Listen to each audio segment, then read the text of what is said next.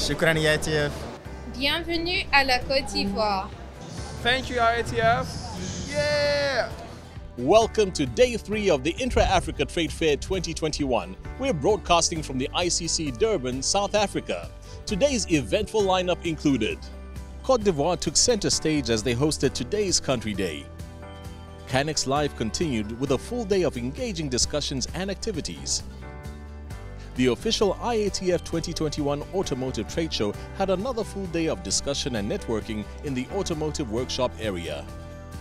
The IATF 2021 exhibition had a full day of training and seminars and ended the day with a gala dinner to launch the RSA SMME Legislative and Parliamentary Office.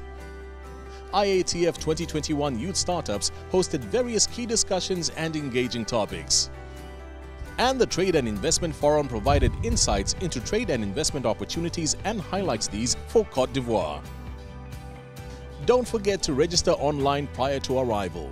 Brought to you by the African Export Import Bank and their premium partners, the Intra African Trade Fair, transforming Africa.